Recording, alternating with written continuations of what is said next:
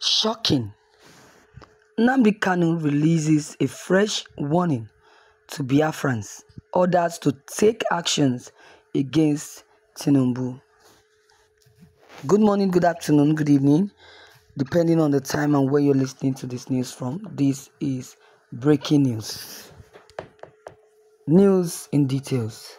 Ahead of Supreme Court decision on December 15th about his detention, Mazi Nnamdi Kanu, the leader of the indigenous people of Biafra, or IPOB, has warned his supporters to exercise caution.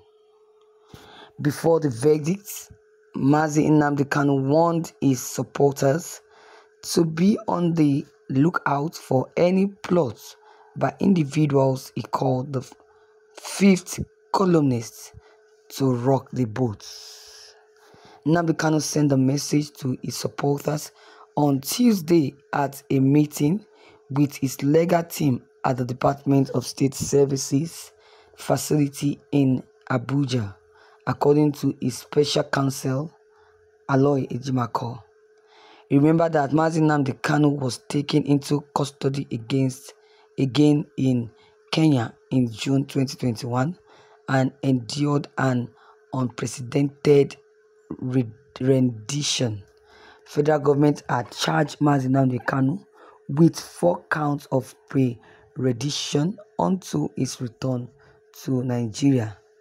All, all but one of the four charges in the charge were withdrawn by the previous Attorney General of Nigeria, Abubakar Malami, who replaced them with a 14-count accusations that bordered on terrorism and also participation in the prohibited organization.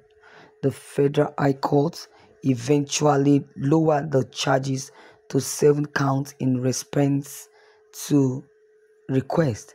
However, the Court of Appeal later overturned this decision. The Nigerian government has declined to release Mazi Nnamdi even after he was cleared and released. Ejimakor charged the following update on his ex handle on Tuesday. I just left today's visitation with Onyendu Nnamdi in the presence of my colleagues. He said that he directed that he, as we count down to December 15, the royal faithful should be vigilant to any plot by the fifth columnist to rock the boat and pin the blame on our people. Ohanaeze sent strong message to President Bola Tinubu, urged him to free IPOB leader as Christmas gift. Strong Igbo organization Ohanaeze Ndigbo asked the Nigerian government to free Nnamdi Kanu, IPOB leader, as Christmas present for the Southeast. Ohanaeze Ndigbo also claims that Nnamdi Kanu has already left exonerated twice by the court and that his ongoing arrest is unjust. The elevation of Justice Samani Aruno to the Supreme Court raises questions. The court had previously remanded Kanu without filing charges. The leaders of the indigenous people of Biafra, released by the Nigerian government as a Christmas gift for the Southeast, according to a well-known Igbo socio-political organization called Ohanaeze Ndigbo. Anything less than Nnamdi Kanu's release, according to Vice President Chief Damian Okeke Ogene, would be a terrible blow to the hopes of the Southeast during the Christmas season.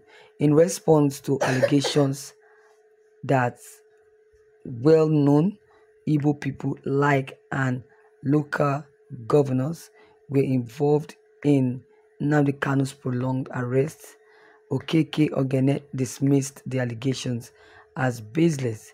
He also underlined that Mazi Nnamdi has already been exonerated twice by competent courts, but also the government has not even yet acted on their rulings, according to the Punch, because past President Yar'Adua and Jonathan successfully addressed the Niger Delta issue via negotiation and compromise.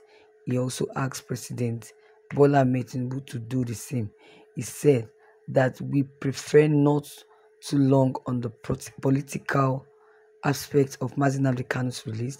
If he is set free on December 15, it is long overdue given the court's previous ruling of his innocence and subsequent releases, yet no action has been taken.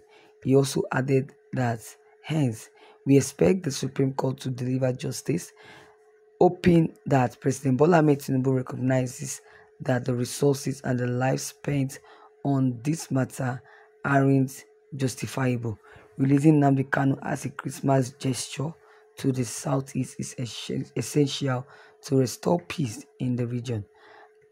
Additionally, he berated the administration for not working with Finland to handle the problem of IPOB's anonymous aim, which is headed by Simon Ekpa and is allegedly responsible for escalating instability in the region.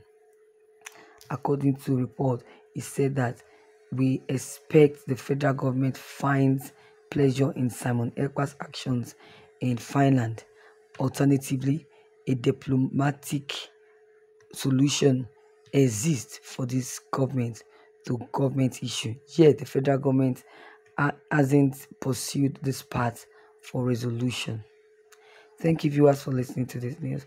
You have heard it all from Nnamdi Kanu giving a stern warning to the Biafrans, as telling Biafrans never to allow any obstruction uh, during his ruling, his next ruling, which is which was dated December 15, 2023.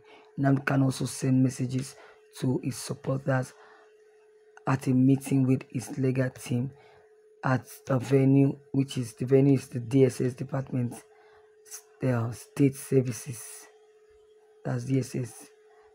He, according to his special convoy, he's saying that he's, he's telling his supporters to be at alert to be at alert always because these people will definitely come and try to stop his his release or his release or try to obstruct his the release from the federal government.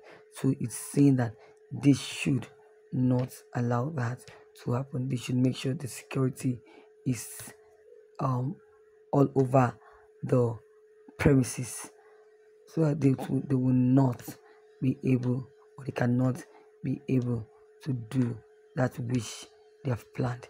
And that plan will definitely fail. So viewers what is your take on what you just heard? Your comment concerning this news will be very much appreciated. Don't hesitate to drop your comment below the comment box. Click on the subscription button as well as the bell button to receive notifications each time we upload new videos. Thank you